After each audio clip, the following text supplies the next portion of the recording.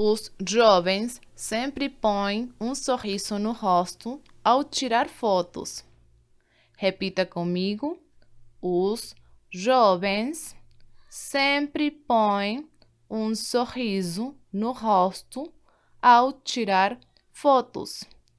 Agora, outra vez, mais rápido. Os jovens sempre põem um sorriso no rosto ao tirar fotos. Muito bem. Nesta imagem, pode observar que o verbo conjugado é o verbo por, na terceira pessoa do plural põe. Eles põem. Sujeito, os jovens, que seria eles.